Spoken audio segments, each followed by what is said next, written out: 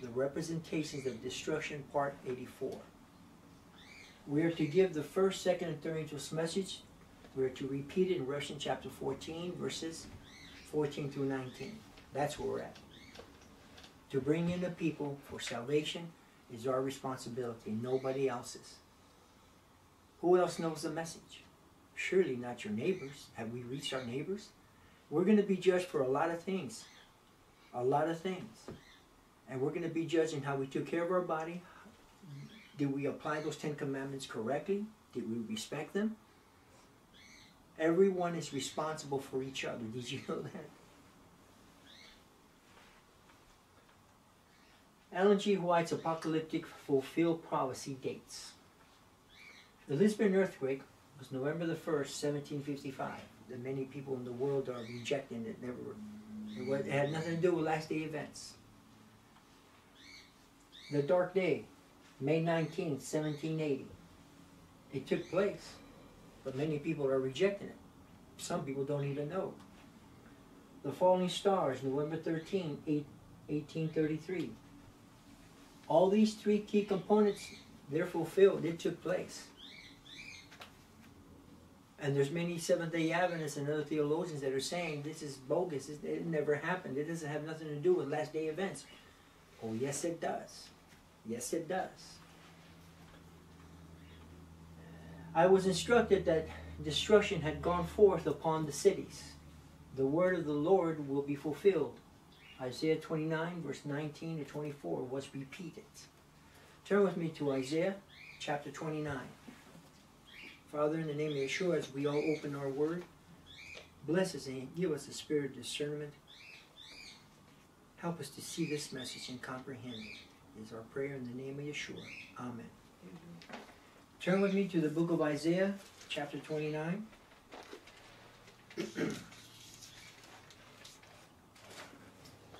Good morning. Isaiah chapter 29, verse 19. Isaiah chapter 29, verse 19.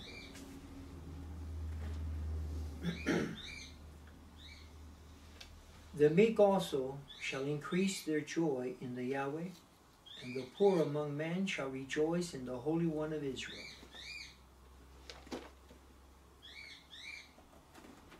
Excuse me. Yeah. Yeah. Isaiah chapter 29.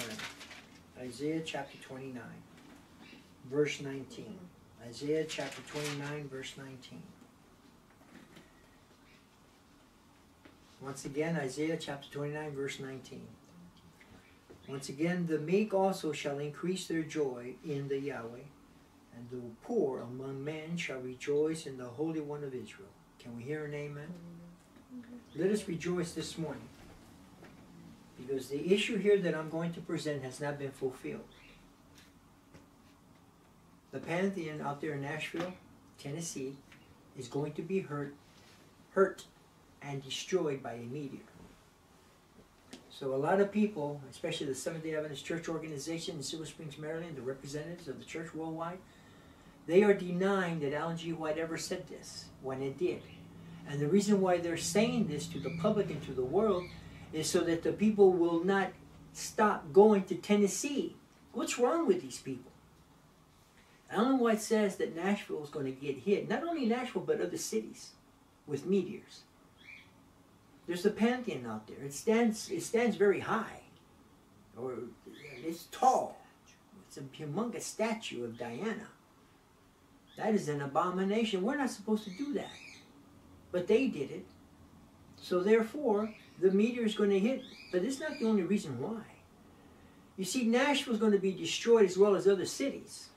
And when that meteor hits, it's going to destroy everything around it. And I'm giving it a 360 mile radius. That's what I'm saying. It does damage. And nobody's going to be able to clean it out. So what I'm going to share here is what's coming.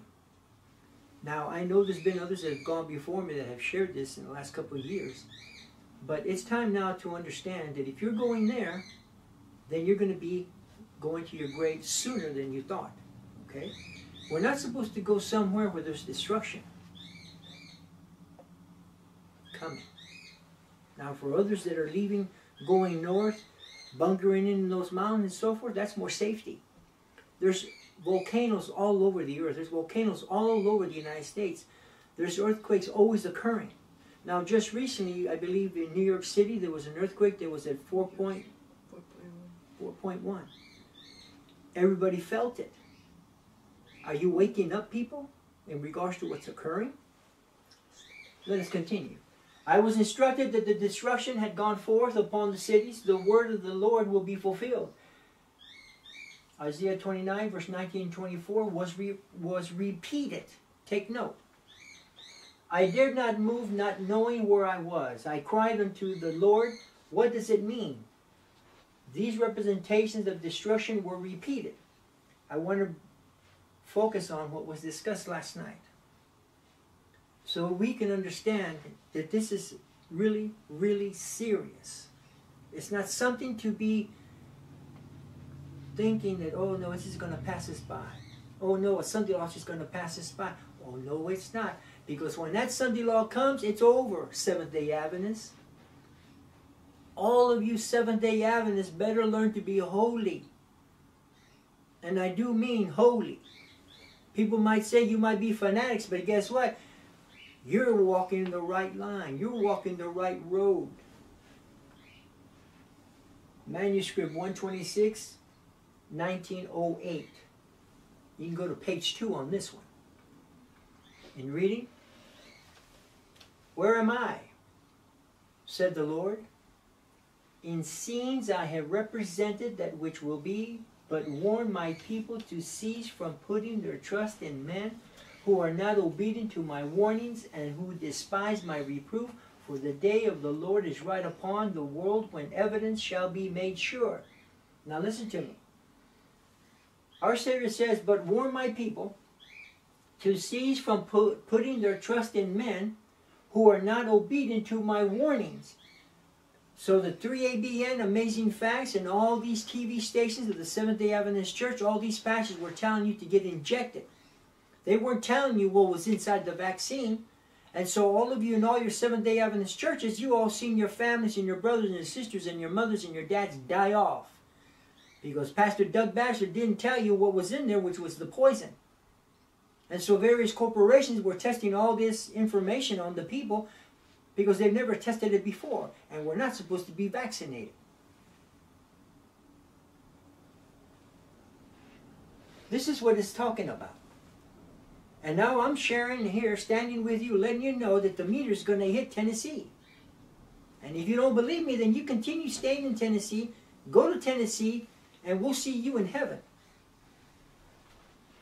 Those who have followed the voices, plural, voices, that would turn things upside down will themselves be turned where they're, where what? Where they cannot see, but will be as blind men. Here's your reference. These words were given me from Isaiah 30, verses 8 to 15, quoted. Take note. Three days later, three days later from the synopsis that I gave to us earlier, in making reference to these words, she added, Ellen G. White, she was given the vision. I was instructed that light had been given me and that I had ridden under special light the Lord had imparted. So it was imparted to her to give to who? To give to the world not just Seventh day Adventists, to give to the world. A prophet is a prophet for all people. It's not a prophet for the Protestant churches or the Catholic Church. That's not a prophet. A prophet is a prophet for every nationality in the world. No denomination's got the power to give you salvation, and they're not going to give you salvation because they're fallen people themselves. The Seventh day Adventist Church is not going to give you salvation. Writing to her son, Willis C. White, who stabbed her in the back and changed his mother's writings and books, etc., and was involved in writing The Desire of Ages. You want to continue following man's ideas? Go ahead, I'll see you in heaven. On August 27, Mrs. White added concerning these fury arrows that were flying in every direction. Whoa! Arrows flying in every direction, which are meteors. From these multiple balls of fire, listen to that, balls of fire it was impossible to check the fires that were kindled. and many places were being destroyed. The terror of the people was indescribable. After a time, Mr. Everett, Cope Mortuary, Fredericksburg, Virginia. Thank you. After a time, I awoke and found myself at home. After a time, I saw my. Hmm. Let me continue. After a time, I awoke and found myself at home. and reading, she concluded the letter with this cryptic remark. Here it comes. I have had many things open to me, but it is not my duty to reveal all that will surely come to those who manifest a spirit to walk contrary to the way God has marked out for them. Everyone will be rewarded as his work shall be. Hmm? Are you giving the message, sister? Sir, are you giving the message? Because if you're not giving the message, don't expect to be in the kingdom. Were these balls of fire which Ellen White witnessed twice in the space of two years? So there's two witnesses. Thermonuclear explosions. What'd she say? Thermonuclear explosions. More mightier than the Hiroshima bomb that hit, I believe, in the year 1945 in Japan. You know the history. You've seen the movies. I know you like to watch TV. Now, everybody wants to go see that new movie that came out with King Kong and what's the other one? King Kong and who else? Hmm? It's a new one came out. Godzilla. Get a hold of this, Godzilla. Were these balls of fire which Ellen White witnessed twice in the space of two years thermonuclear explosions? Question mark. It is impossible today to give a dogmatic answer, but a ball of fire is one of the most obvious identifying characteristics of atomic explosions. That's what's going to hit Nashville, Nashville, Tennessee. And all of you who are running over there, Seventh day Adventists. So that tunnel that's underground that goes for about five, ten miles, it ain't going to save you. You don't have to show me, sister. But guess what? That tunnel is just going to help you to be in the ground a little longer because it's going to be hit. And I'm sharing this is because we know a ministry that's there that has a tunnel, it's underground, etc., and they're going to use it as a bunker to protect them for what is coming. but a ball of fire is one of the most obvious identifying characteristics of atomic explosions, of which the first man made one was yet some 40 years in the future. Listen to what Ellen White is saying here, ladies and gentlemen. Writing from Europe in the Review and Herald in the year of 1886, Mrs. White described the destruction of Sodom and the cities of the plain. Let's go to Genesis chapter 20, chapter 19, verse 29. Genesis chapter 19, what verse? I need some help. Genesis 19.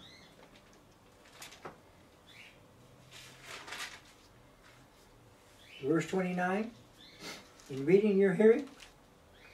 And it came to pass when Elohim destroyed the cities of the plain that Elohim remembered Abraham and sent Lot out of the midst of the overthrow when he overthrew the cities in the which Lot dwelt. Hmm? Let me read it again. Let's read it again. And it came to pass when Elohim destroyed the cities. This is the after effect of Nashville in Tennessee. This is just an analogy. Take note. And it came to pass when Elohim destroyed the cities of the plain that Elohim remembered Abraham. So Elohim is going to remember his remnant people who are faithful and true if they're in Tennessee. Now take note. And it came to pass when Elohim destroyed the cities of the plain that Elohim remembered Abraham and sent Lot out of the midst of the overthrow when he overthrew the cities in the which Lot dwelt. The angels are going to go and pull you out. Matter of fact, they're actually asking you and calling you out now before the destruction comes. That's what's happening right now, Sister Elizabeth. About 1900 BC, in this graphic depiction, as the sun arose for the last time upon the cities of the plain, the people thought to commence another day of godless riot. Yes. All were eagerly planning their businesses or their pleasure, and the messenger of Elohim was derided for his fears and his warnings. Suddenly, as the thunder pealed from the unclouded sky, fell balls of fire on the doomed capital. This is what's coming to Tennessee.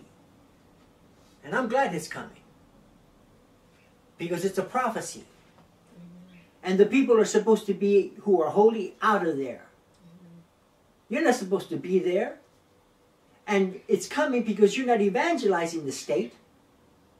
Just like the sister the other day called me up and she said she sold everything. There's nothing left. She's just got her little little studio that she's living in. The Seventh-day Adventist Church stole her property, stole the church. Her husband passed away. He was a dentist. She, she sold everything. There was other buildings, other churches, administration, etc. He said, Brother Gonzalez, our Savior's coming. And that's right, he's coming.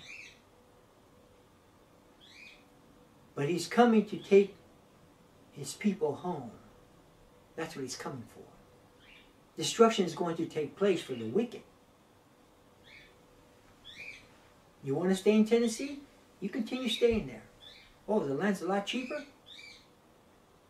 I think that my life is more valuable. I'm going north. How about you? Then immediately Ellen White made this stunning application to the end of the world. Did you hear that? End of the world, utmost end of earth's history. Daniel chapter 12. So shall also the coming of the Son of Man be, who is Yeshua HaMashiach, Elohim. The people will be eating and drinking, planting and building, marrying and giving in marriage, until the wrath of Elohim shall be poured out without mixture of mercy.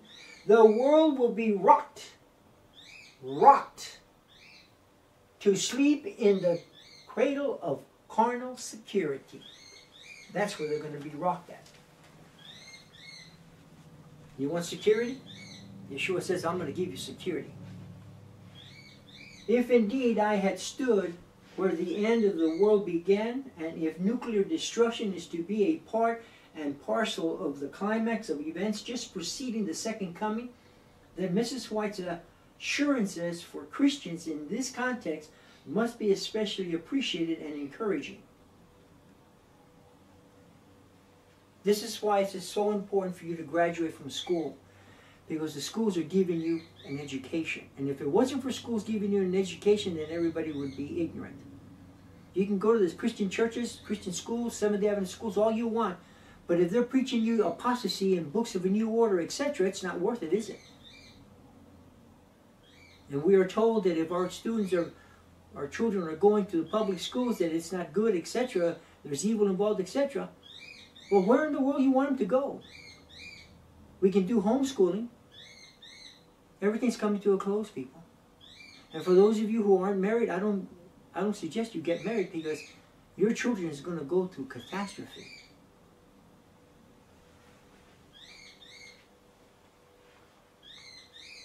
For she declares, while the 91st Psalm, a thousand shall fall at thy side and ten thousand at thy right hand, but it shall not come nigh thee has been the refuge of God's people in every age during the 3,000 years since David first redu reduced it to writing. Yet it has a special application to those who live just before the close of probation. Let's go to Psalms 91. Turn with me to Psalms chapter 91.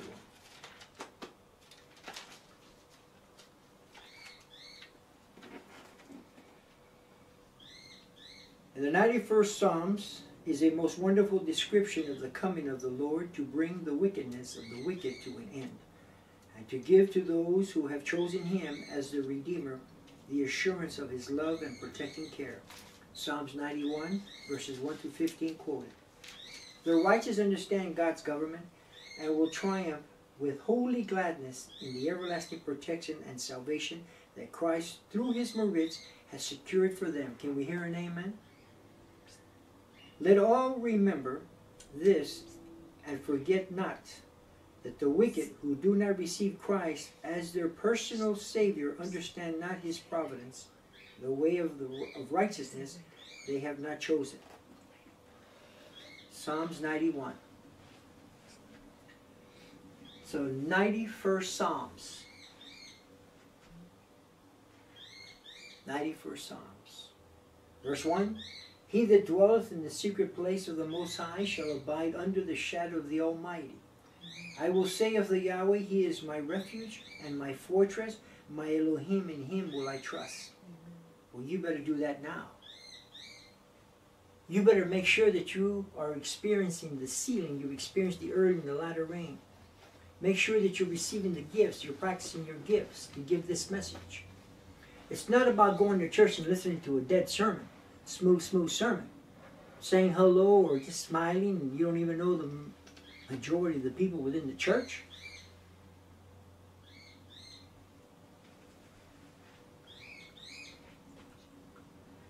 In the 91st Psalms is a most wonderful description of the coming of the Lord, to bring the wickedness of the wicked to an end, and to give to those who have chosen him as the Redeemer the assurance of his love and protecting care. I care for people in the Seventh-day Adventist Church, but I don't care for liars and cheaters that are continuing to teach from books of the New Order lies, lies, lies, lies. I don't like that.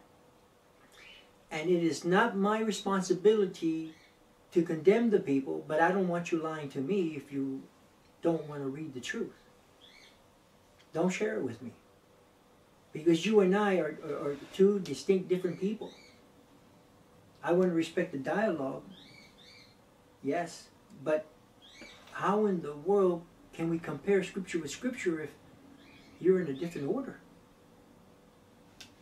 Our Savior is testing us tonight this morning, this evening, wherever you might be, whoever's viewing, we're different time zones. You've seen the destruction in California. You've seen the tsunamis that have taken place in various countries because they're not keeping the commandments and their warnings. You've seen the volcanoes erupt all over the world in various locations. You, you, you've experienced that. Various people, many people have died and passed away. You've seen the sickness that have come into the world. What are you all waiting for? What our Savior is waiting for is waiting for all of us to go and give this message. Because the angels are going to speak through you, my friends. When a pastor speaks, it's the angels speaking through them. When the evangelists speak, the laymen speak, it's the angels speaking through you to touch and ring the citadel of that mind that's been created in the image of Yeshua to repent and to prepare for the coming of Yeshua. That's just doing the work. While the Holy Spirit is enlightening your electrolytes to be converted. In reading, in the 91st Psalm is a most wonderful description of the coming of the Yahweh, to bring the wickedness of the wicked to an end, and to give to those who have chosen him as their Redeemer the assurance of his love and protecting care. How interested and excited I was then while eating at my last meal in Hiroshima. Take note. At our church, built after the atomic devastation, August 6, 1945. It's an experience that someone had that I'm using. I wasn't there. I wasn't even born then. But the person continues to share. Built after the atomic devastation of August 6, 1945, when the local church elder responded to our question, it's as follows. How many Seventh-day Adventists died in that first atomic blast in the year of 1945? As this Japanese Christian leader looked at us, his eyes began to brim with tears, and he answered softly, through an interpreter. Listen to me. Through an interpreter, not one. All Japanese were not commandment keepers. They worship different gods. Are you listening to me? For those Seventh day Adventists that have moved to Tennessee, if they're witnessing, doing his work, okay. But they're given a warning is to get out before it's too late.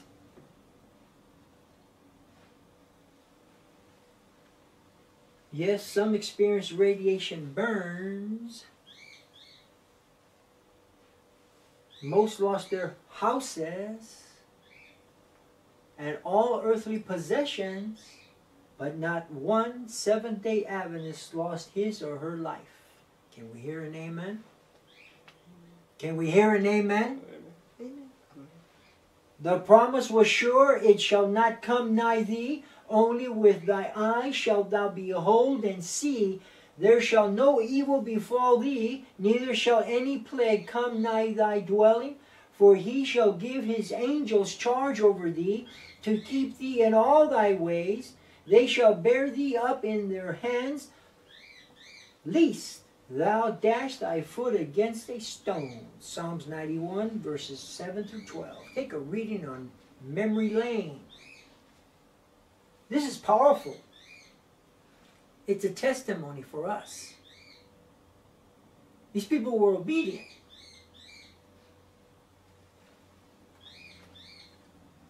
As early as 1888, she hinted at what was yet to come. The Savior's prophecy concerning the visitation of judgments upon Jerusalem is to have another fulfillment in our time, of which that terrible desolation was but a faint shadow, in the fate of the chosen city, we may behold the doom of a world that has rejected God's mercy and trampled upon his law. Turn with me to Exodus chapter 20. Exodus chapter 20.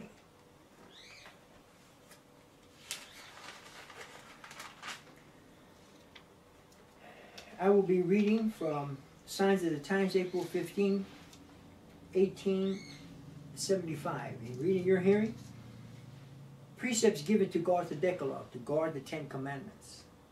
In consequence of continued transgression, the moral law was repeated in awful grandeur from Sinai. Christ gave to Moses religious precepts which were to govern everyday life.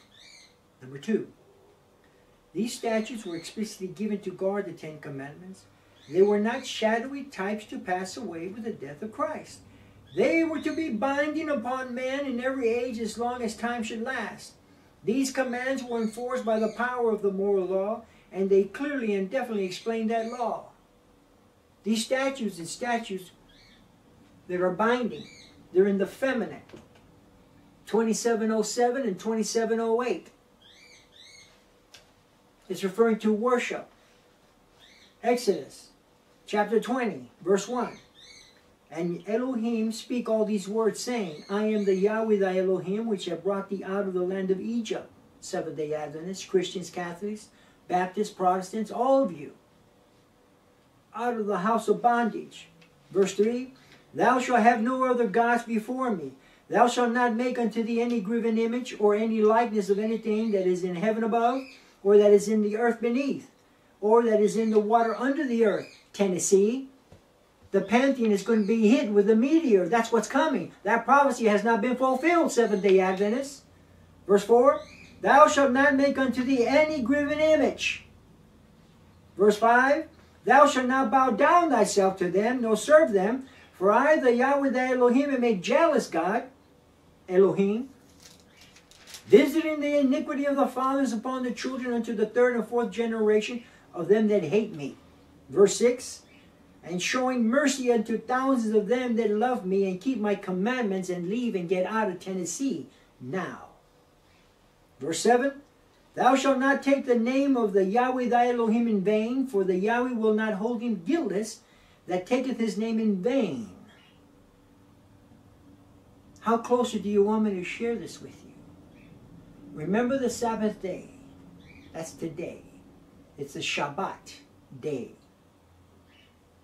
Verse 8 Remember the Shabbat day to keep it holy. Six days shalt thou labor and do all thy work from Sunday to Friday. But the seventh day, which is today, is the Shabbat of the Yahweh thy Elohim. It shall not, what? In it thou shalt not do any work, thou, nor thy son, nor thy daughter, thy manservant, nor thy maidservant, nor thy cattle, nor thy stranger that is within thy gates. For in six days, Sunday to Friday, the Yahweh made heaven and earth. Genesis chapter 1, 2. Those two chapters tells us the weekly cycle of a 24-hour day in six days in the seventh cycle, which are seven days. It has not changed. For in six days the Yahweh made heaven and earth, the sea and all that in them is, and rested the seventh day, which is today. Wherefore the Yahweh blessed the Sabbath, Shabbat day, and hallowed it. How close are you want me to get? Let's go to Leviticus chapter 23 then. Come on, let, us go to Leviticus chapter 23. Everybody loves Leviticus chapter 23. In verse 1, And the Yahweh speak unto Moshe, saying, Speak unto the children of Israel, and say unto them concerning the feast of the Yahweh, which ye shall proclaim to be holy convocations, even these are my feasts. Now let's look at the Sabbath, the weekly Sabbath. Verse 3, 3 listen to this. Six days shall thy work be done, Sunday through Friday. But the seventh day, which is today, the Shabbat, is the Shabbat of rest and a holy convocation. Ye shall do no work therein. It is the Shabbat of the Yahweh in your dwellings. Then it goes on with Passover that's coming in in the third week of April, on the 22nd of April. These are still binding. They're not nailed to the cross. Everything in Leviticus chapter 23 is still binding. The only thing that's not binding is the animal sacrifices, ceremonial law, Seventh-day Adventists, crippling the church and the members to death. When in 1888 the Seventh-day Adventist Church turned around and nailed it and rejected the feast. And they think that they know it all. What a shame when the Bible tells us. Tells us specifically what's happened here. Let's go to Hebrews. Let's go to Hebrews for the doubter. Oh, well, it's not in the New Testament. Well, if it's not in the New Testament. Oh, man. Many of us uh, have been mis misguided. Many of us can say, well, I don't like that, and you taught me this, and you taught me this way. My grandfather did this, my grandma. I don't care about your grandmother and your grandfather. It's about today. You're alive. You're, you're the one that's worthy today. You're working out your salvation. Let's look at uh, Hebrews chapter 4. Let us therefore fear, let us therefore reverence, lest a promise being left us of entering into his rest. What rest? It's the Shabbat day. Any of you should seem to come short of it. For unto us was the gospel preached, as well as unto them, but the word preached did not profit them, which are the Hebrews, not being mixed with faith, in them that heard it. Verse 3 for we which have believed do enter into his Shabbat rest, as he had said, As I have sworn in my wrath, if they shall enter into my rest, although the works were finished from the foundation of the world, Genesis chapter 1, Genesis chapter 2, verse 4. For he speak in a certain place of the seventh day, Shabbat day to day, on this wise, and Elohim did rest the seventh day from all his works. Can we hear an amen? Verse 5. And in this place again, if they shall enter into my rest, he's talking about the Shabbat. Seeing therefore it remaineth that some must enter therein, and they to whom it was first preached enter not in because of unbelief. Verse 7, again he limited a certain day, saying in David, Today, comma, after so long a time, as it is said, Today if you will hear his voice, harden not your minds. It's not hearts. Your heart only pumps blood. Verse 8, For if Yeshua had given them rest, then would he not afterward have spoken of another day? Verse 9, There remaineth therefore a rest to the people of Elohim, for he that is entered into his rest, he also has ceased from his own works, as Elohim did from his. End of the case. It took years to understand this. but you still want to stay in Tennessee, you're not going to be in the kingdom.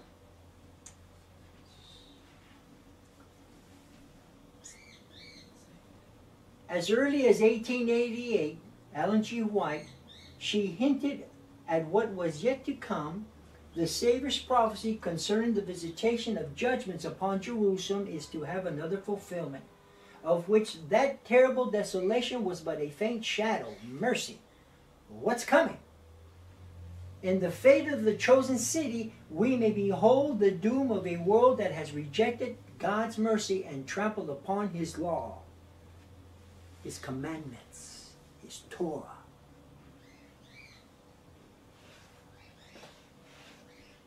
Judgment's here.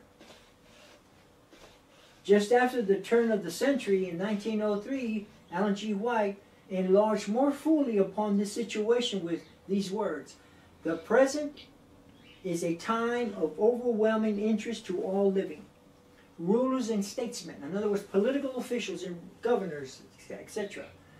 Men who occupy positions of trust and authority, thinking men and women of all classes, have their attention fixed upon the events taking place about us. They are watching the strained, restless relations that exist among the nations.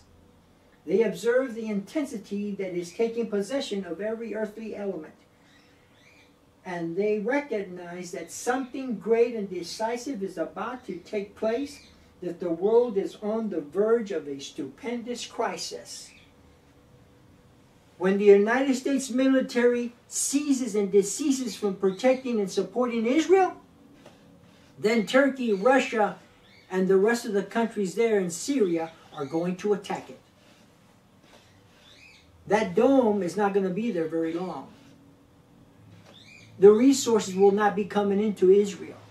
Right now, there is discussion on your radio, TVs, etc., and on your newspapers in regards to ceasing and deceasing and supporting Israel. They want to eliminate Netanyahu.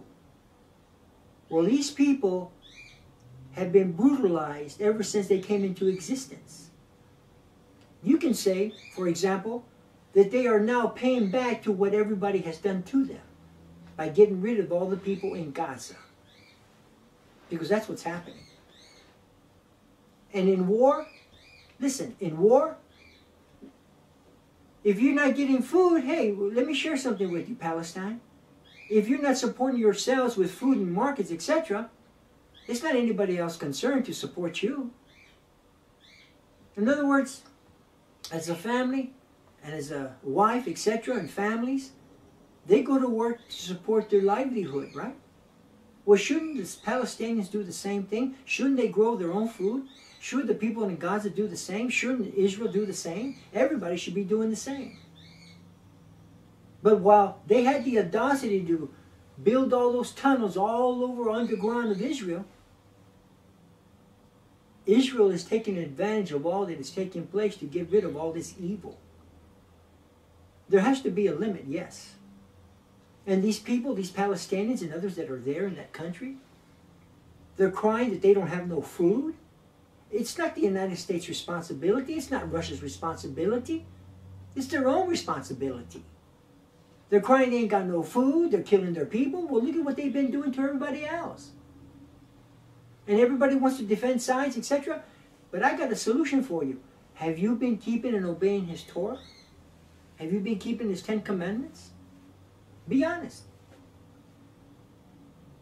Because the prophet in Zephaniah chapter 2, verse 4, it's coming. And Narsier is going to get the hook and put it underneath the jaws of Russia, Magog, and he's going to pull them into the war. You see, that incident out there is going to be so overwhelming, people.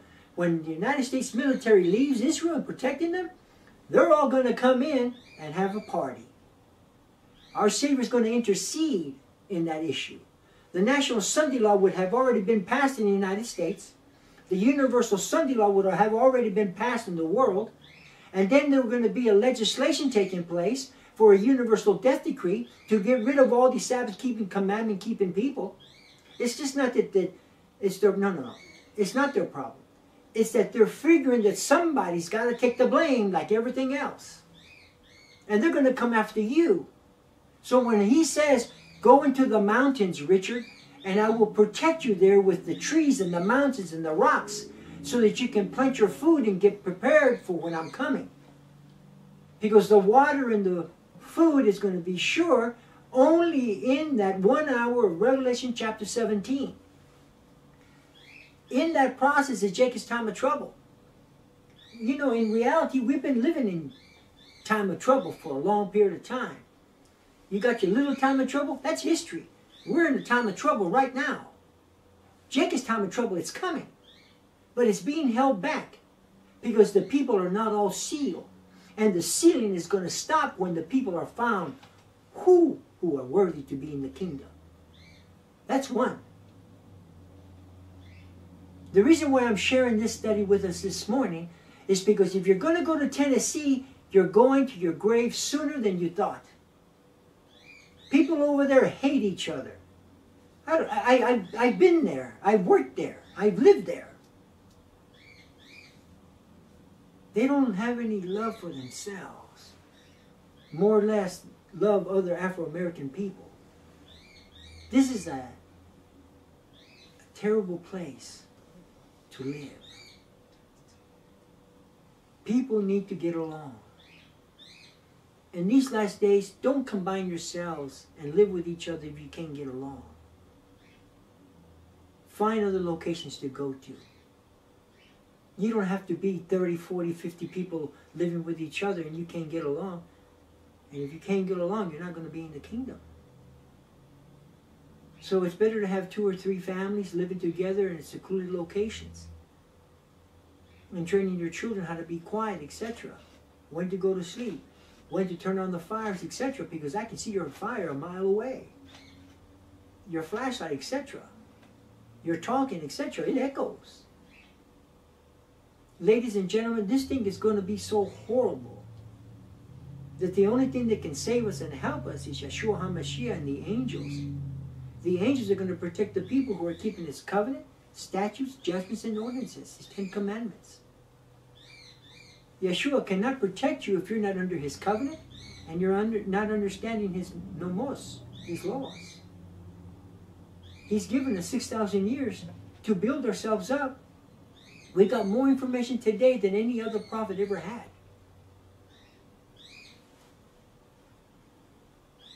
And I got to pick up dead people every day. And I look at them, I'm looking at you. Do I have to pick you up one day and take you to the funeral home and tag you and put you in the freezer? Until you're ready to put down six feet under the ground? Or put you in the iron and smoke you for four hours until you're nothing but dust. And the only thing that's left is your hip bone, which takes longer. Ladies and gentlemen, this is not a joke. My counsel for you is to get yourself someplace out in the mountains and don't tell anybody. Because there's a lot of snitches that are Seventh-day Adventists and Christians, etc. And there's a lot of people that are going to look, look for a way out, and they're going to report you to the Catholics. It's prophecy. Spalding and Magan, page one.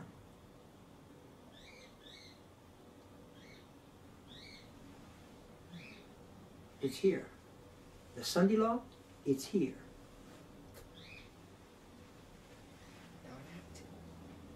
They are watching the strained, restless relations that exist among the nations. They observe the intensity that is taking possession of every earthly element.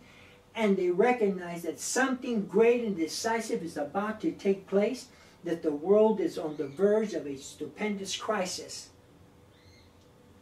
That's where we're at right now. Angels are now restraining the winds of strife. The four angels in Revelation chapter 7 that they may not blow until the world shall be warned of its coming doom. But a storm is gathering, ready to burst upon the earth. And when God shall bid his angels loose the winds, there, there will be such a scene of strife as no pen can picture it.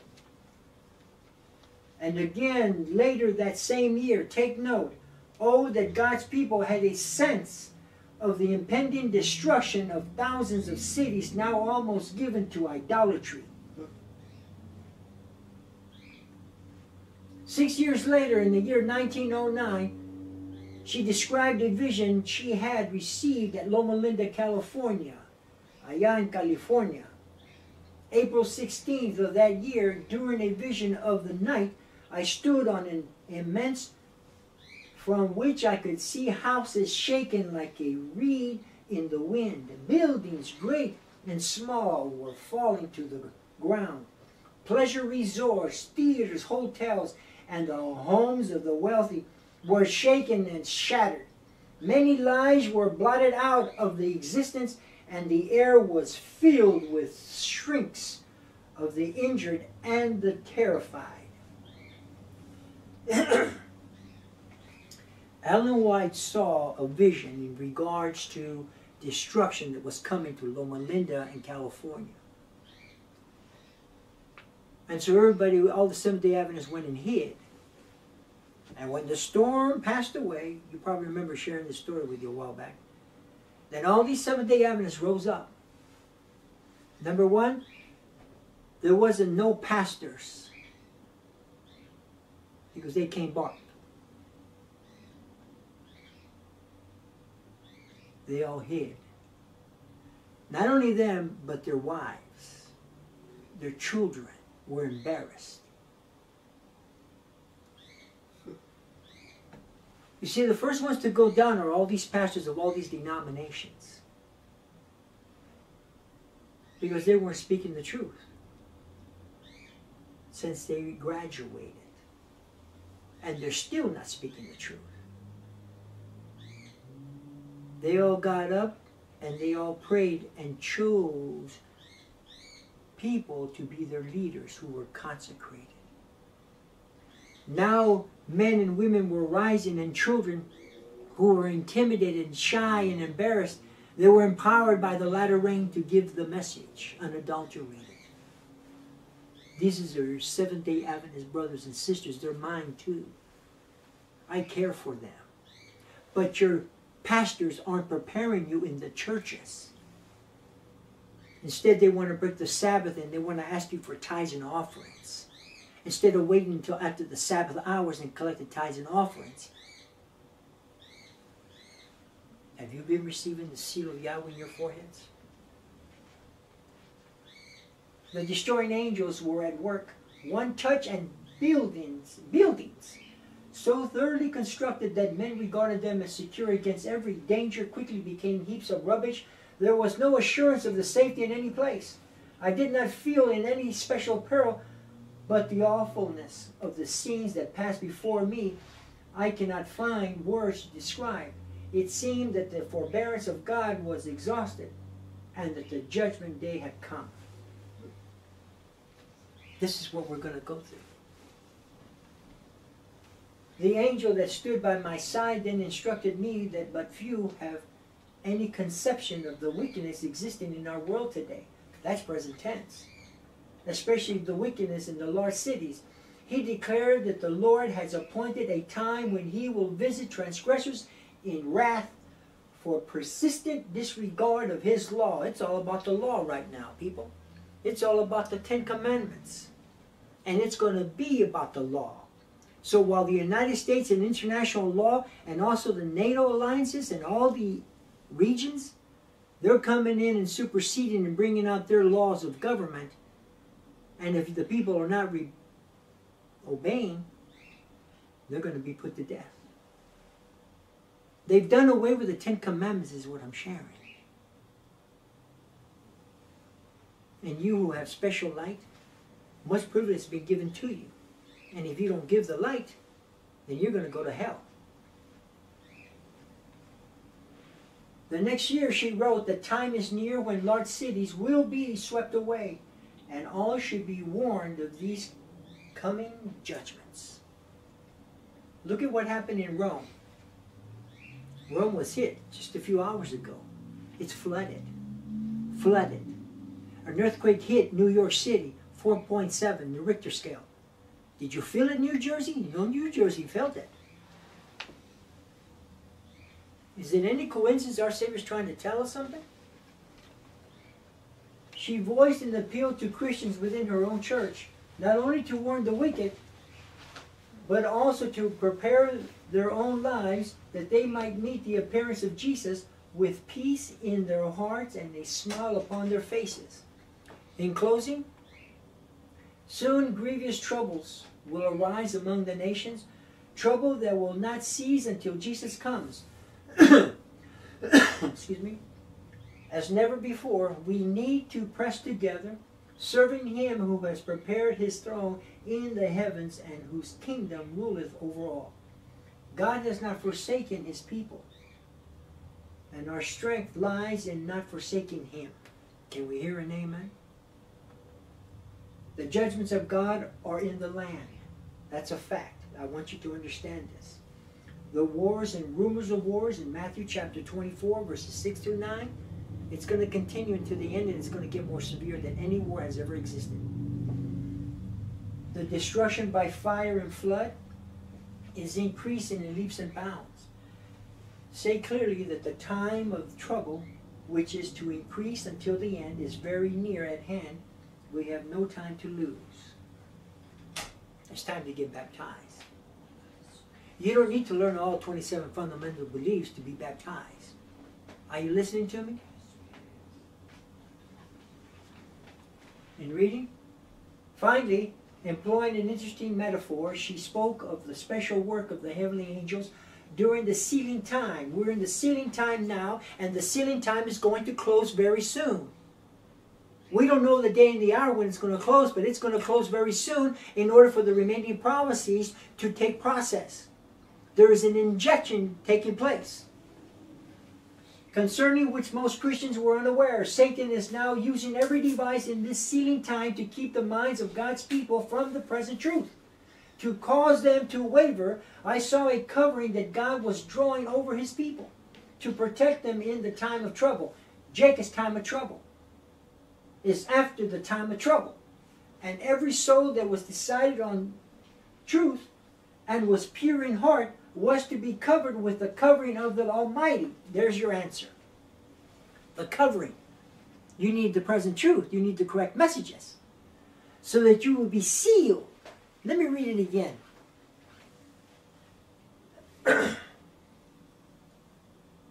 In this sealing time, to keep the minds of God's people from the present truth and to cause them to waver, take note. Now, here's your answer. I saw a covering that you must have, mandatory, covering that God was drawing over his people who keep his statutes, judgments, and orders, his commandments, over his people to protect them, them only, in the time of trouble, which is now, today in 2024, and every soul that was decided on truth and was pure in heart was to be covered with the covering of the Almighty. There is hope for you. Now you have a foundation. You received the early rain. You've been planted. And the fullness is going to be given to you at the second advent because you have the covering already. Right now, today, you've had it. Here's your answers. Satan knew this. Listen now and he was at work in mighty power to keep the minds of as many people as he possibly could wavering and unsettled on the truth. Get the books that are correct. That's what's being discussed here. I saw that Satan was at work in these ways to distract, deceive, and draw away God's people just now in the sealing time. Because he was the one who was involved in changing the writings of Ellen G. White with fallen human beings. There were Seventh-day Adventists and Trinitarians. And there were Sunday keepers. Were they really consecrated? There was only eight pioneers. Not the whole stack of a bunch of apostasy were pioneers. Uriah Smith was not a pioneer. As a matter of fact, Waggoner Sr. was never called into the ministry. He was an adulterer until he died and was married. So you tell me, is our Savior using that guy? Did he use that guy? I saw some who were not standing stiffly for present truth, present tense today. Listen, this is the prophecy. Their knees were trembling and their feet sliding because they were not firmly planted on the truth. And and the covering of Almighty God could not be drawn over them while they were thus trembling. Satan was trying his every art to hold them where they were until the sealing was passed, until the covering was drawn over God's people and they were left without a shelter from the burning wrath of God, which are the seven last plagues, in this seven last plagues. Holy Sabbath. This is not a smooth sermon. Can you handle it? God has begun to draw his covering over his people. What does it say? Listen to me. God has begun to draw this covering over his people, and it will soon be drawn over all who are to have a shelter in the day of slaughter. God will work in power for his people, and Satan will be permitted to work also. So you've got two forces working at the same time. It's over. In early writings 43, 44, you need to read it because it's corrupt to the core. You need to go over this. Your correct writings is found in Christian Experience and Views, page 25 to 27, which is correct. I was planning on reading it, but I don't really have the time. I believe I'm out of time. No? Okay. Let me read it then. Let me read it.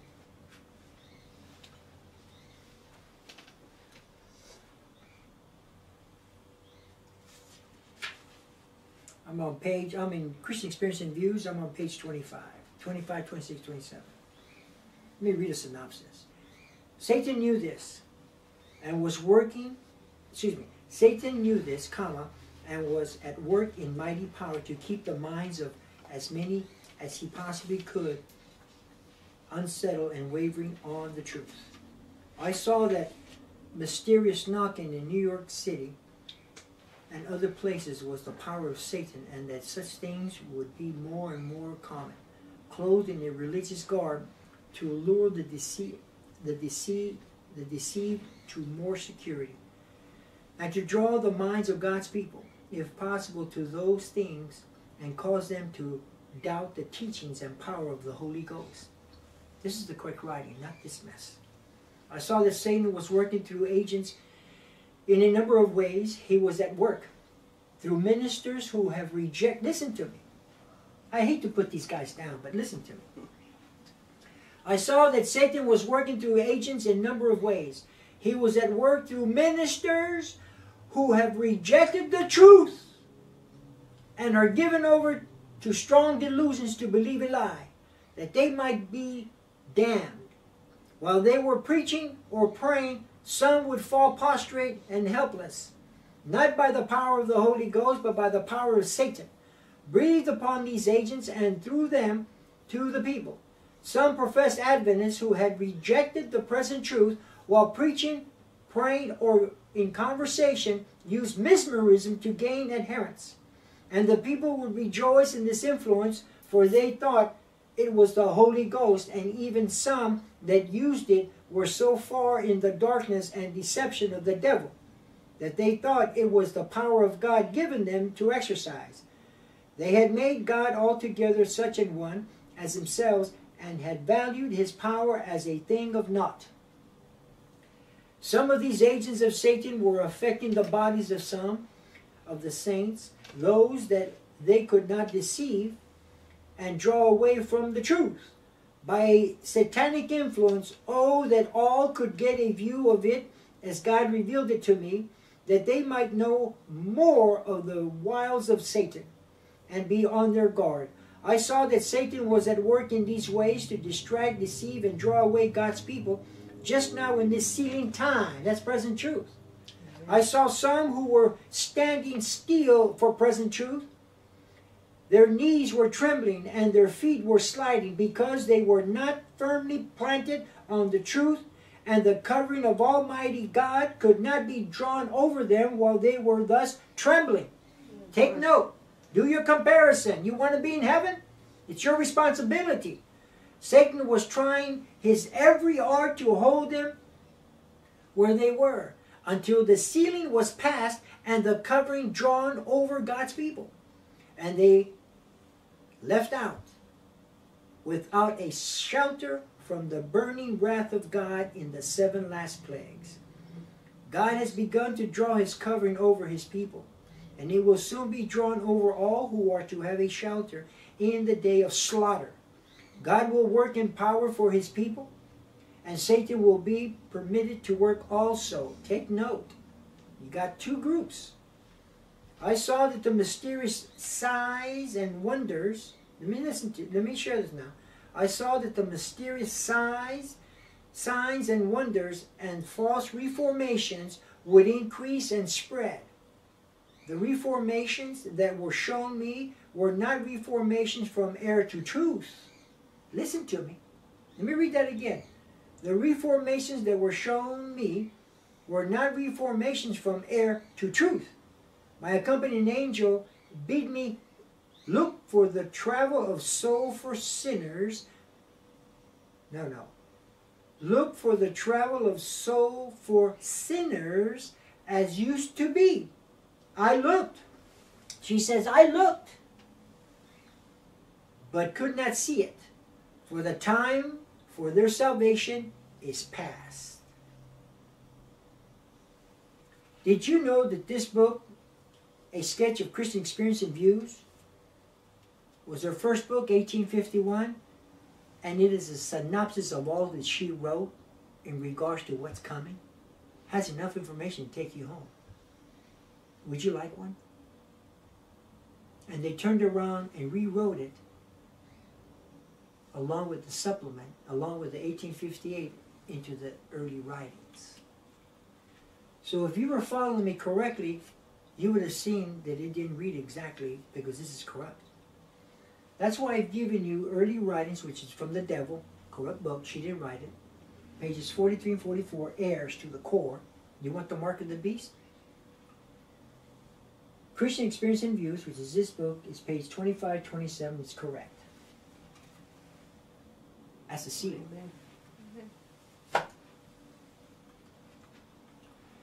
For this reason, loved ones, since you are looking for these things, be careful to be found by him in peace, without spot and without blame. Verse 14.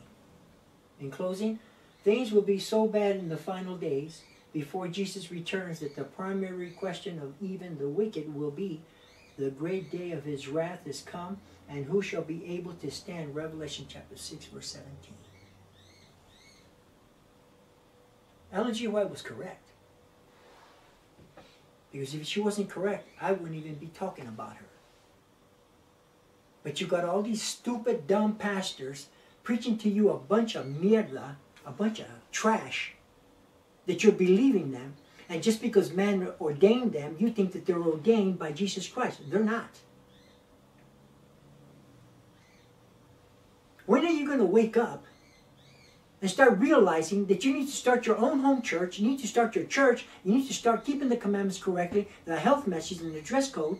You don't need to go to a church building where they pay funds and tithes to the devil. They pay 10% to Vatican Rome. The General Conference pays 10% of the income that you give in your tithes and offerings to the churches, they give it to Rome. But you don't care. You didn't know that, did you? But everybody says, well, show me, Richard, where all this comes from. Well, what it is here is that you want to know hey, what's going on, what's going on, but are you consecrated? That's what's more important. You're responsible what you do, even if you give them a penny. You're not supposed to be part of them. Ironically, their question is, but the echo of an ancient psalm sang antiphonally by the Israelites as they journeyed three times each year to the annual national feast Passover, Pentecost, Tabernacles. Those are the three feasts we're going to keep in the new heaven, new earth. But you didn't know that. You don't care, so I'm going to continue. As they climbed the step, the steep ascent from Jericho Plain, 800 feet below sea level, to Jerusalem on Mount Zion, 2,000 feet 2,500 feet above sea level. One group would sing to the other. Who shall ascend into the hill of the Yahweh, or who shall stand in his holy place? Hmm? And the answer would come from the other group.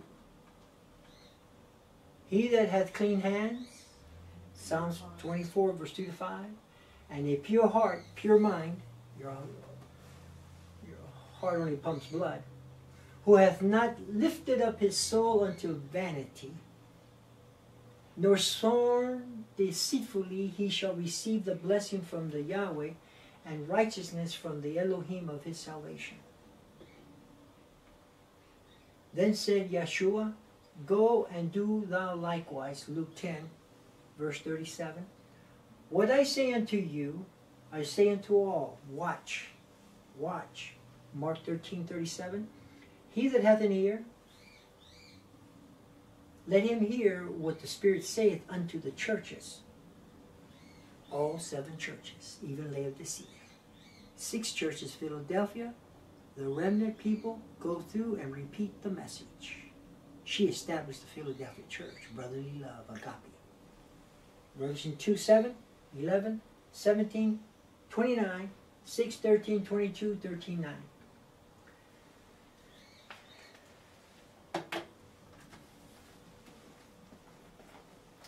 Turn with me to Revelation chapter 22. I like to close with this.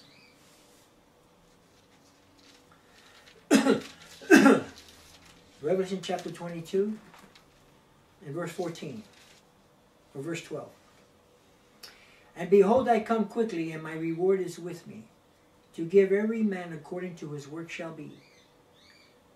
I am Alpha and Omega, the beginning and the end, the first and the last. Blessed are they that do his commandments, that they may have right to the tree of life, and may enter in through the gates into the city. Verse 16, I, Jesus, have sent my angel to testify unto you these things in the churches. I am the root and the offspring of David, and the bright and morning star. Verse 17, And the Spirit and the bride say, Come. And let him that heareth say, Come and let him that is athirst come, and whosoever will I am, and whosoever will, let him take the water of life freely. In conclusion, in verse 15, for without are dogs and sorcerers and whoremongers and murderers and idolaters, and whosoever loveth and maketh a lie. That's the ninth commandment. Thou shalt not bear false witness against thy neighbor. Seventh day Adventist. Books of a New Order came in and changed the structure. And it began in 1863. Nothing but apostasy to today. They go down deep into hell, Review and Herald, Volume 3, page 69. They will be a part of the ecumenical movement, which is present tense, they're there now. And they will be a part in pushing a Sunday law. You may read a lot of this information in Christian Service, also in Signs of the Times, page 155. They will persuade the men and the women to keep the first day of the week.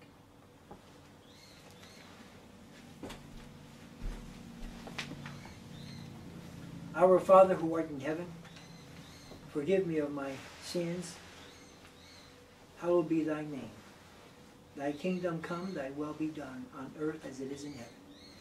Give us this day our daily bread, and lead us not into temptation, but deliver us from evil.